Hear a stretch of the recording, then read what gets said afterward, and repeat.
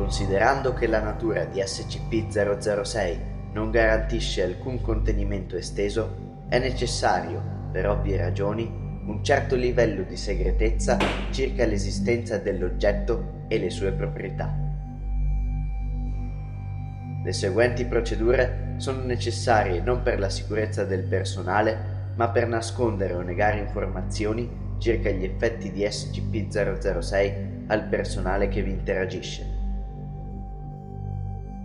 Tutto il personale che interagisce con SCP-006 fisicamente, in qualsiasi modo, è tenuto ad indossare tutte modificate classe 6 VNC.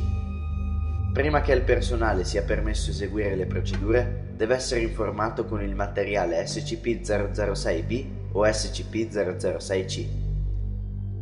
Il rapporto SCP-006-A è quello corretto ed è accessibile solo a chi possiede un'autorizzazione di livello O5.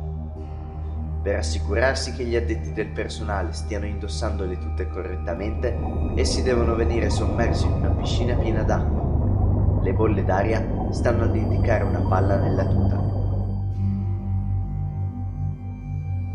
Le procedure con SCP-006 devono essere effettuate sotto strettissima sorveglianza. Caso di contatto con SCP-006, il comandante in carica annuncerà la procedura di dato che il personale è stato informato affinché credesse nella presenza di elevata tossicità e sarà quindi tenuto ad evacuare. Ogni procedura in cui viene acquisito liquido da SCP-006 deve essere approvata da tre addetti del personale di livello 5. Il liquido deve essere trasferito in un contenitore sigillato e sotto scorta armata.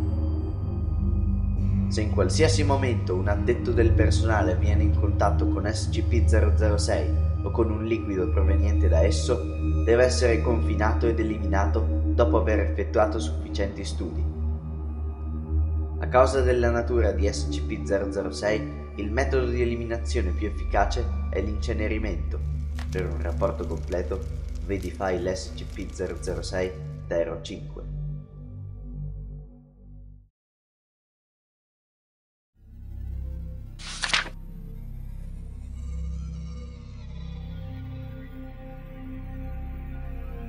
SCP-006 è una sorgente molto piccola situata a 60 km a ovest di Astrakhan.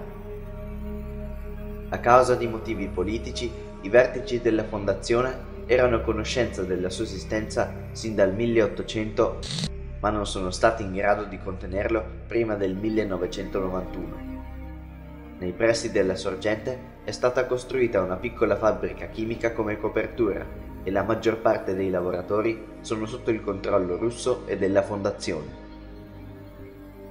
Il liquido emesso dalla sorgente è stato chimicamente identificato come semplice acqua minerale del 1902, ma con l'insolita capacità di guarire.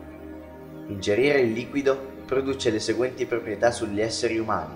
L'abilità di rigenerare il DNA danneggiato da duplicazione sufficiente, elevata eccitazione di duplicazione cellulare, notevole miglioramento della capacità di respirazione del tessuto danneggiato spaventoso aumento dell'efficacia del sistema immunitario umano. Testando il liquido su soggetti animali, i batteri e gli agenti virali ostili sono stati distrutti immediatamente.